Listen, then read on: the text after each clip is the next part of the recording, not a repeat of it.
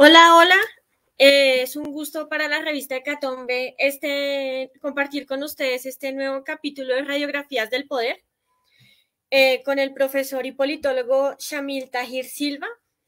Em, la gente de bien, últimamente, y la prensa corporativa están construyendo un nuevo candidato que dicen que es moderado, académico, pero que eh, pues, no pues es funcional a sus intereses. Nos referimos al exministro de Salud y exrector de la Universidad de los Andes, Alejandro Gaviria. Hoy el profe Shamil nos va a contar un poquito sobre la vida y obra de este precandidato presidencial eh, en este capítulo de Radiografías del Poder. Es importante que sepamos quiénes son los candidatos a la, a la presidencia, quiénes están detrás de ellos y pues estos capítulos caen de perlas. Bienvenido, Shamila, a este nuevo episodio. Y la palabra es toda tuya. Nuevamente, muchísimas gracias a la revista Catombe por abrir estos espacios para hablar del poder en Colombia. Y pues nada, vamos a empezar de una vez con la presentación para hablar de nuevo presidente, profesor Alejandro Gaviria. Pues a ver, eh, Alejandro Gaviria, ¿por qué estamos hablando de Alejandro Gaviria? Pues porque pues esta semana se, lanza como uno de los tantos candidatos presidenciales en Colombia. Eh, Alejandro Gaviria, para poder hablar de Alejandro Gaviria y entender por qué estamos hablando del poder en Colombia, pues tenemos que hablar de, pues de su influencia, de su círculo de influencia más cercana y de dónde es que viene Gaviria como, pues como candidato presidencial. No sé si ahí están viendo la, presentación completa. Sí, pero no está ampliada. Ok, creo que me toca volverla a presentar. A ver.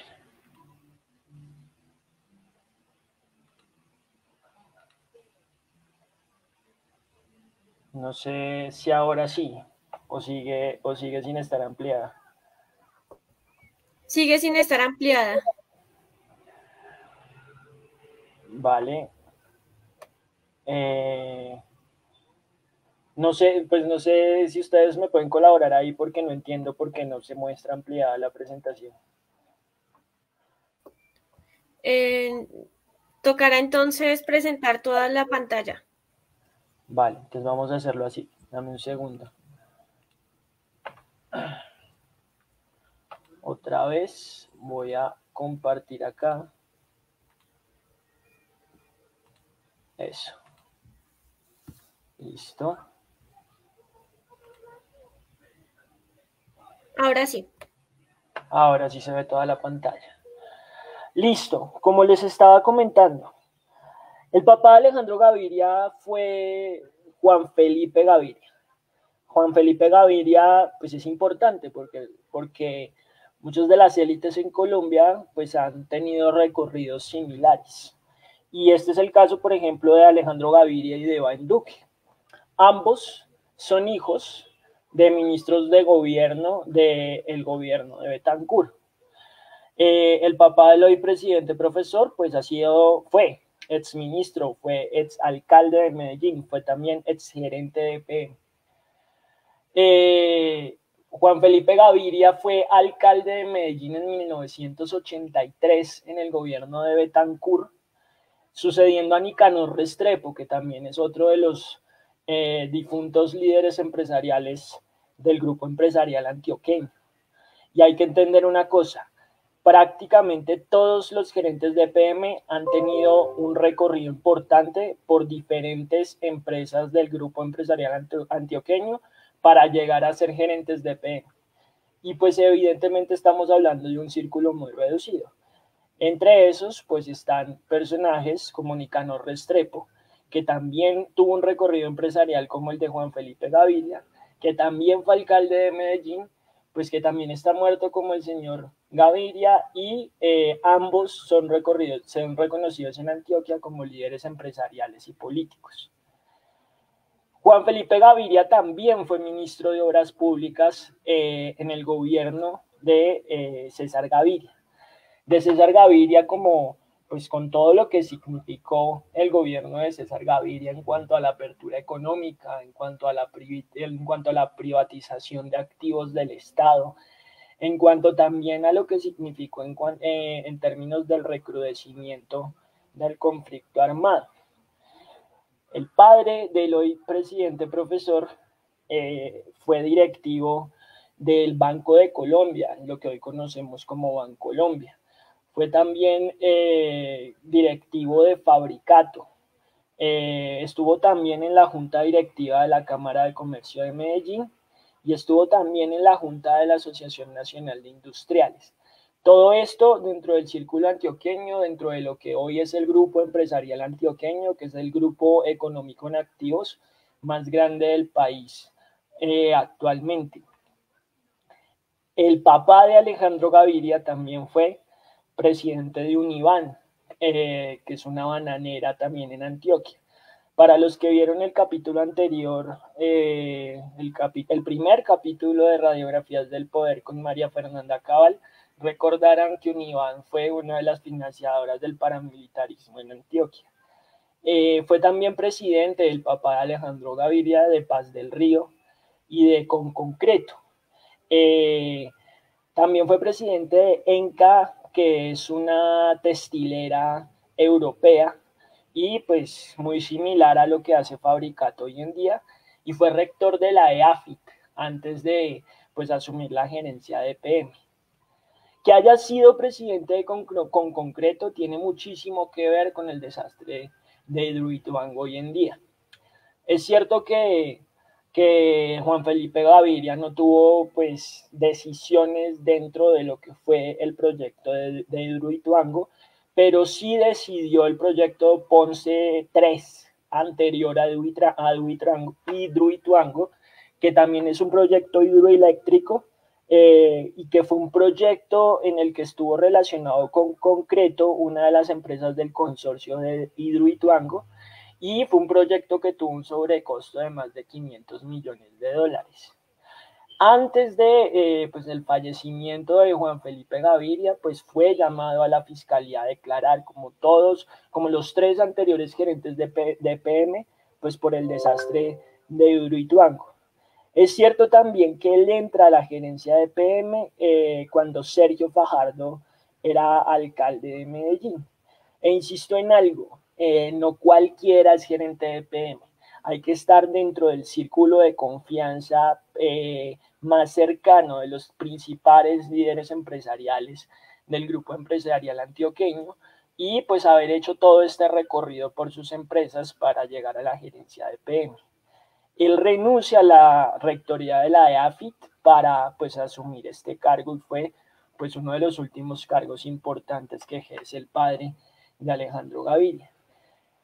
¿Esto porque es relevante? Pues porque al final así es que uno entiende cómo eh, pues los hijos de eh, Juan Felipe Gaviria son Pascual Gaviria, que soy presidente de eh, periodista de Caracol Radio y comparte mesa pues con los principales periodistas de esta pues empresa de medios de comunicación.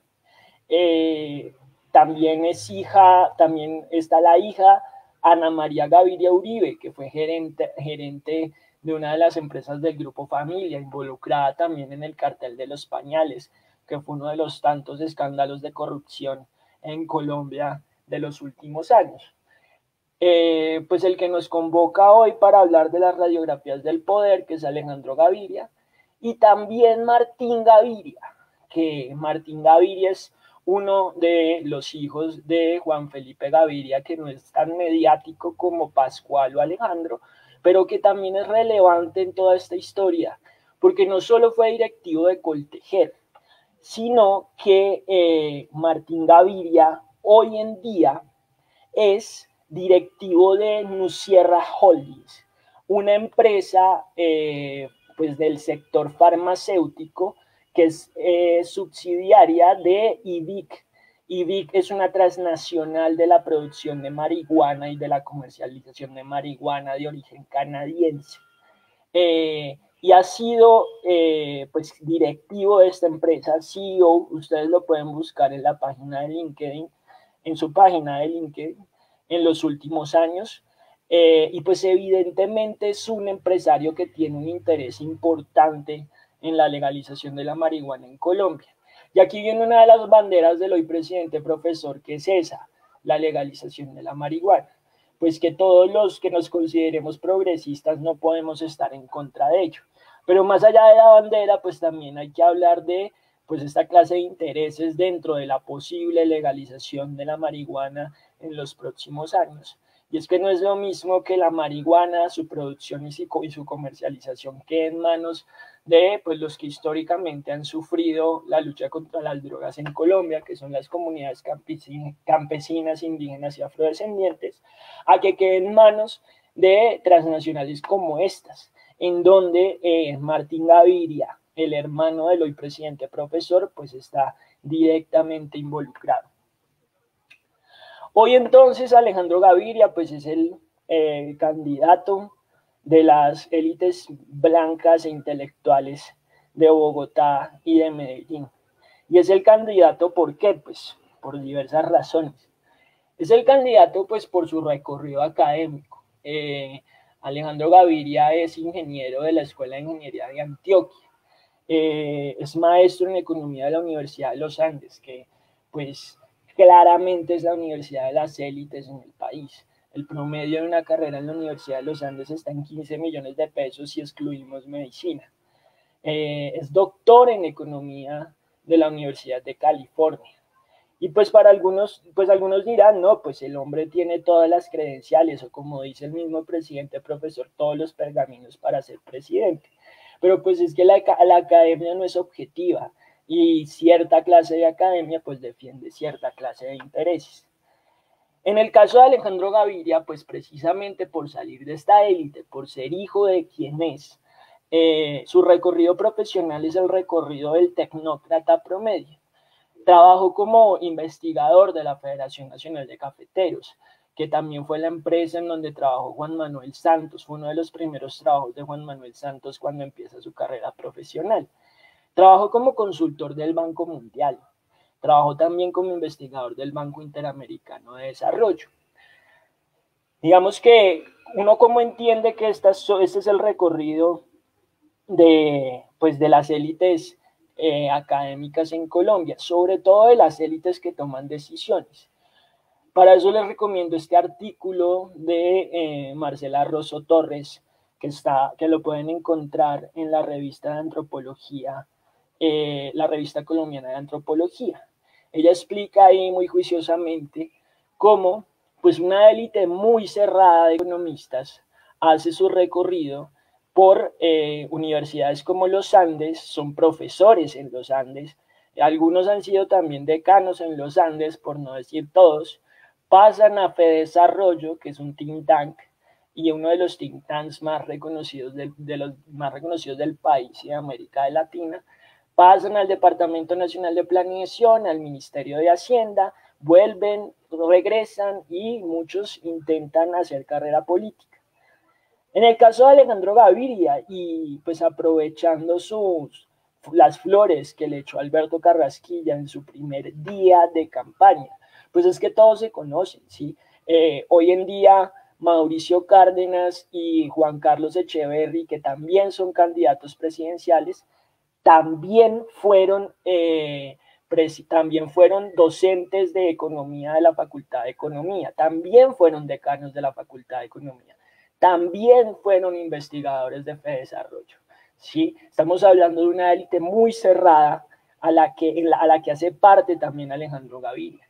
Alberto Carrasquilla también fue docente de economía y también fue decano de la Universidad de los Andes. Y por lo tanto, pues defienden lo mismo, vienen de la misma escuela económica y tienen las mismas propuestas para los problemas del país.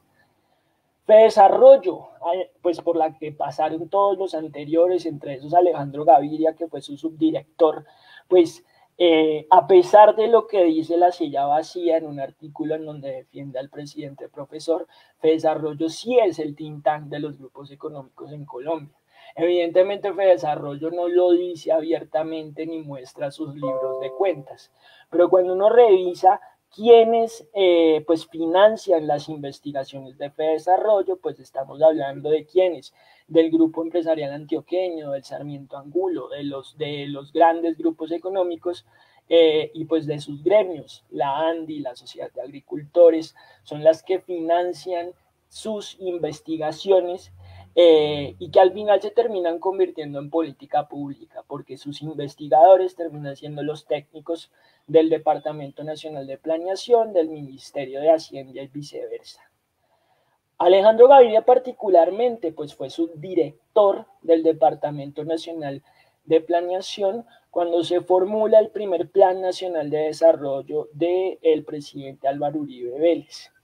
Eh, por lo tanto, pues tradujo en términos técnicos pues todas las intenciones políticas de este Plan Nacional de Desarrollo, entre eso su política bandera que fue la, pues, la política de, de seguridad democrática, con todo lo que hoy conocemos en cuanto a violaciones de derechos humanos y el derecho internacional humanitario. Si ven, por ejemplo, en este pantallazo, una de las asesoras de dirección del plan fue Carolina Soto Lozada. Y entonces ahí, pues, se entrelaza otra, pues, en palabras de Alejandro Gaviria, historia de vida, que es la actual esposa de, eh, pues, del hoy candidato presidencial. Carolina Soto Lozada en tiempos de eh, el Plan Nacional de Desarrollo de Álvaro Uribe Vélez, pues era una asesora de la dirección de el Departamento Nacional de Planeación. Pero, eh, pues de ahí hizo carrera, eh, pues su propia carrera, también dentro de esta élite. Eh, y dentro de esta élite, pues en los últimos años trabajó en el Ministerio de Educación de Santos, fue consejera presidencial de Juan Manuel Santos y precisamente por Juan Manuel Santos fue que terminó en la junta directiva de, eh, el Banco de la República. Hasta esta semana, cuando pues de manera mediática, eh, pues el hoy candidato profesor, eh, pues le dice, pues dice que su esposa renuncia por transparencia, pero pues no está obligada a renunciar, pero lo que también demuestra es que estamos hablando de pues de un matrimonio que se hace en medio de esta élite cerrada del poder, sobre todo el poder que pues al final traduce en términos técnicos cuáles han sido las decisiones que se han tomado en los últimos 20 años en Colombia. La hoy eh, desempleada Carolina Soto, eh, posible primera dama, pues tiene una investigación abierta en la, en la Contraloría de Responsabilidad Fiscal eh, pues por sus tiempos cuando fue funcionaria del Ministerio de Educación, del Ministerio de Gina Parodi. El hoy presidente profesor, eh, antes de ser ministro de Salud de Juan Manuel Santos durante seis años, como ya les dije, fue docente de la Universidad de los Andes de la Facultad de Economía y fue su decano. Eh, posterior a esto, bueno, en medio de esto, lo que también ocurre es que pues fue columnista de eh, El Espectador, mientras al mismo tiempo hacía parte de su consejo editorial. Para ser pues parte de su, del consejo editorial del Espectador, pues hay que contar con el favor de uno de los dueños del Espectador, que es el Grupo Santo Domingo. Y eh, después de esto es que pasó seis años en el Ministerio de Salud. Eh, y durante esos seis años, ¿qué ocurrió? Digamos que más allá de sus pronunciamientos a favor de la legalización de la marihuana, de eh, la defensa del aborto o de, por ejemplo, eh, sus movimientos alrededor de la reducción de los costos de algunos medicamentos, lo que caracterizó sobre todo al exministro de Salud fue su defensa acérrima a la ley 100. Me disculparán por citar sobre todo a Semana, pero pues eran tiempos en que Semana era un poquito más rigurosa. Y pues ahí está un pantallazo de una de las entrevistas que le hacen al ministro al salir, en donde dice con toda claridad que en su criterio la ley 100 es el avance social más importante que ha tenido Colombia en los últimos 25 años. demostró durante su ministerio también eh, pues serias críticas a la tutela en Colombia, que es prácticamente la única herramienta jurídica que tienen los sectores populares en el país para hacer valer sus derechos, con frases totalmente desafortunadas como esa de que la Corte quiere que todos en Colombia coman langosta, en medio de una discusión sobre eh, pues, la ley estatutaria, eh, pues una ley estatutaria que se le estaba discutiendo a la ley 100 en Colombia. Eh, durante los primeros años del gobierno de Santos fue uno de los ministros peor calificados por los líderes eh, de opinión en el país. Entonces, pues, evidentemente, pues uno puede tener un discurso en favor de los derechos individuales de las personas, como que todos se puedan fumar un porro o que cualquiera tenga derecho a, eh, pues, abortar. Pero eso no significa que usted esté dispuesto a poner el cuerpo como lo han hecho muchos en Colombia para redistribuir la riqueza y esa estructura de privilegios que le han permitido a alguien como Alejandro Gaviria llegar a los puestos de poder a los que ha llegado. Porque precisamente qué ocurre cuando el hombre sale del Ministerio de, Salud, pues cuando sale del Ministerio de Salud, eh, poco tiempo después, se convierte en rector de la Universidad de los Andes hasta la semana pasada. Hay algo que en honor a la verdad vale la pena mencionar acá y que se ha repetido mucho en los últimos días.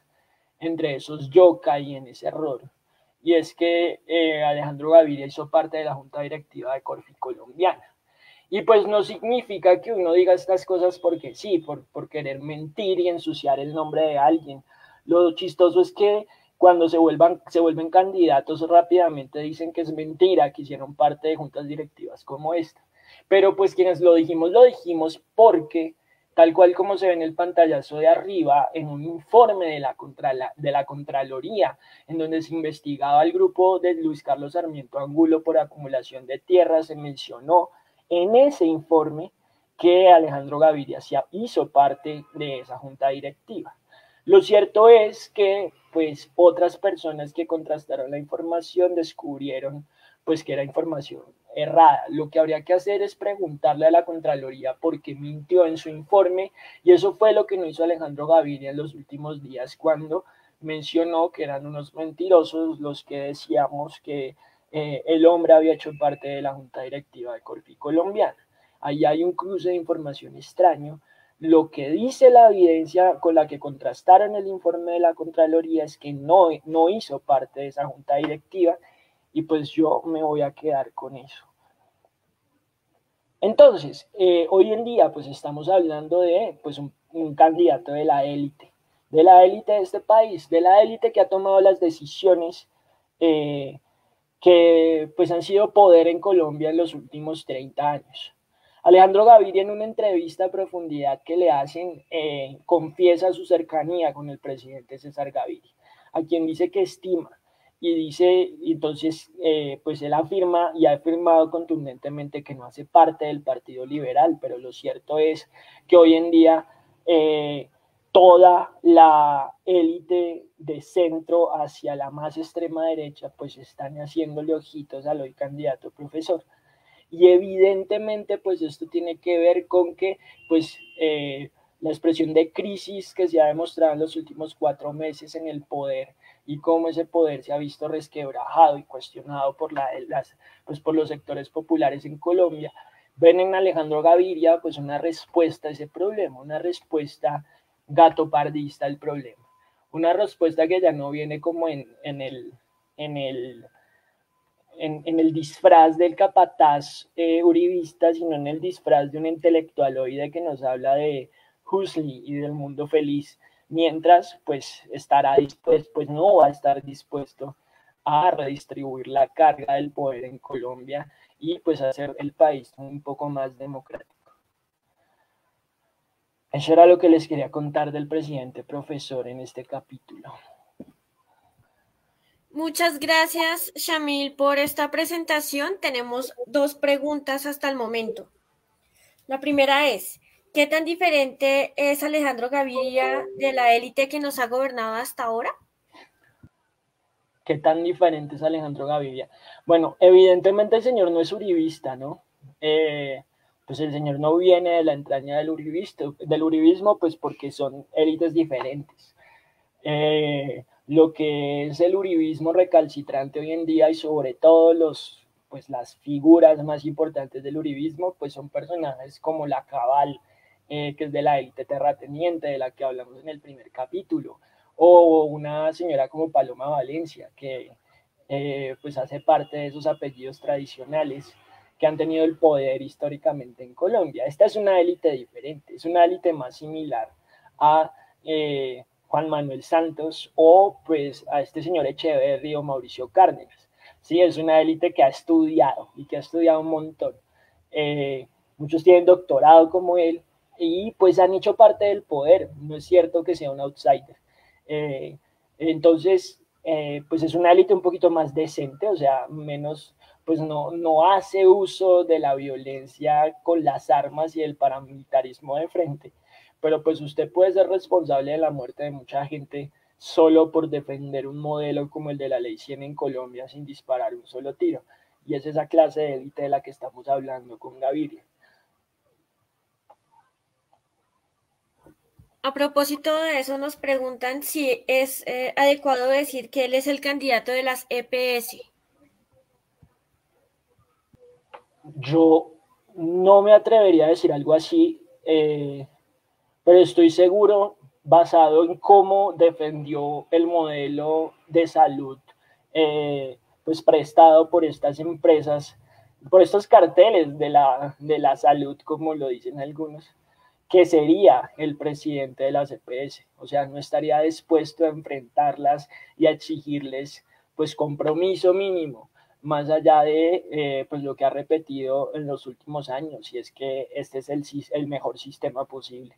Entonces, otra cosa sería ya revisar quiénes van a financiar su campaña, y es probable que termine aceptando financiación de sectores relacionados con pues las empresas, con las EPS en Colombia. Tocaría revisar en los próximos meses si eso ya se llega a dar o no. Otra pregunta, ¿Este personaje qué tipo de economía implementaría si llegara a la presidencia? No sé, o sea, bueno, sí sé, digamos que eh, evidentemente por lo que ha pasado en los últimos meses en el país, eh, muchos, o bueno, casi todos los candidatos hablan de la necesidad de, eh, pues de redistribuir un poquito la riqueza en Colombia, pero pues estamos en campaña y habría que coger esas palabras con pinzas. Eh, sobre todo de alguien que ya estaba en el poder y que ya ha podido tomar decisiones al respecto. Eh, entonces, evidentemente, un señor que, se, que fue decano de la Universidad de los Andes, que compartió el mismo puesto con Alberto Carrasquilla, con Mauricio Cárdenas y todos estos personajes, pues estará siempre inclinado en mantener la situación tal cual como está en que la economía va bien siempre y cuando se puedan hacer los negocios que se siguen haciendo en Colombia y pues eh, ni hablar de eh, redistribuir la riqueza un poquito o bueno, de, siquiera hablar de redistribución porque eso en palabras de estos técnicos es comunismo. Una de esas preguntas que le gustan al profesor Shamil qué Petro le ha propuesto a Alejandro Gaviria varias veces ser parte de la política electoral, como por ejemplo sucedió en la alcaldía de Bogotá. Yo creo que lo que habría que preguntar es por qué Alejandro Gaviria rechazó las propuestas de Petro, ¿sí? Eh, porque yo creo que Petro peca ingenuo y cree que puede llegar a consensos con esta gente. Entonces, pues lo invita. Evidentemente, cuando Petro lo invitó a la alcaldía, pues no lo invitó a que, eh, a que Petro asumiera, o bueno, que la Colombia Humana asumiera el programa que Alejandro Gaviria les colocara, sino seguramente llegar a consensos a un programa un poquito menos radical, ¿sí? Entonces la pregunta no es por qué Petro lo invita a él, que yo creo que es porque peca de ingenuo, sino más bien porque Alejandro Gaviria lo rechazó. Y pues me adelanto a posibles próximas preguntas. Es cierto que también Petro lo invitó a ser su ministro de Hacienda en un futuro gobierno. Eh, y entonces vuelvo y digo, lo que hay que preguntarse es por qué Alejandro Gaviria lo rechazó. ¿Y por qué lo rechazó? Pues porque él no se siente identificado con la propuesta de la Colombia humana y el pacto histórico, que es una propuesta evidentemente muchísimo más radical y es lo que necesita este país para que realmente veamos los cambios, los sectores populares e históricamente abandonados, pues radicalidad, porque pues podemos seguir comiendo mierda todos aunque se legalice la marihuana en Colombia. Bueno, pues no hay muchas, no hay más preguntas eh, por el momento. Eh, ah, sí, aquí hay otra. ¿Podríamos decir que la alcaldía de Claudia López es un abrebocas de lo que sería un posible gobierno de Alejandro Gaviria? Yo estoy seguro que eh, sería un gobierno muy por ese estilo, ¿sí? Eh, porque al final lo que se usa, lo que ha usado Claudia López en el último año son argumentos de autoridad del estilo eh, yo soy la que sé, sí, yo fui la que estudié el doctorado y, entonces por eso lo que yo digo es la mejor opción. Eh, evidentemente no hay una apertura democrática más allá de elecciones, entonces es muy difícil que esta clase de personajes escuchen a la gente de los sectores populares y escucharla y que, eh, que escuchen obedeciendo, como dirían los zapatistas, porque una cosa es pues que usted se vaya a estudiar a Estados Unidos, a Europa, y venga acá con unas prefórmulas de cómo deben ser las cosas y otra cosa es irse a sentar con la gente que está comiendo mierda en el país e intentar eh, traducir esos intereses a pues las instituciones públicas y al poder en Colombia y eso es lo que le queda muy complicado a estos gomelos y pues sí, yo creería que sería una abrebocas de cómo sería un gobierno de Alejandro Gaviria. Listo. Eh, no hay más preguntas por el momento. Shamil, un comentario así general eh, sobre esta investigación, sobre bueno, esta radiografía del poder de Alejandro Gaviria, por favor. No, pues yo creo que, eh, pues que evidentemente esto también nos demuestra qué clase de campaña van a hacer en Colombia en el próximo año. yo creo que también se entiende que pues va a haber muchísima confusión sobre qué es lo que necesita el país. Algunos pues le van a apostar a un cambio estético como estilo lo que, lo que representa Alejandro Gaviria y otros pues le vamos a, apostar a un cambio radical. Eh, evidentemente no todo se resuelve con quien X o Y persona ocupen eh, pues la silla presidencial, sino que también nos deberíamos preocupar muchísimo por quienes están en el Congreso. Lo vimos eh, pues ayer con, lo, pues con el espectáculo bochornoso de la moción de censura a la ministra de Comunicaciones. Y entonces, eh, pues habría que seguir haciendo la labor, la labor pedagógica de explicar quiénes son los que tienen el poder en Colombia y no, y no solo quiénes lo tienen, sino para qué y cómo lo usan, porque muchas veces se responde ante esta clase de radiografías del poder, como, hey, pero es que no hablan de Petro, no hablan de Francia Márquez, ¿sí? Pero pues es que estamos hablando de, dos clases de poder diferentes y, no son, y, se, hacen falsas equivalencias al respecto. Es posible que en próximos programas hablemos de, pues, esta clase de personajes que no son el mismo poder y no usarían la clase de poder que personajes como Alejandro Gabriel han tenido, de la forma que ellos lo han usado. Y esa es la pregunta que se deberían hacer los ciudadanos y las ciudadanas a la hora de, pues, de participar en política y de preocuparse por quienes van a tomar las decisiones que nos afectan a todos en un futuro. Bueno, muchísimas gracias, profesor Chamil, por esta radiografía del poder sobre Alejandro Gaviria. Nos faltó discutir ese peinado fresco y juvenil pero bueno, a Shamil no le quedaría muy bien porque... Porque soy calvo. Sí. bueno, muchísimas gracias.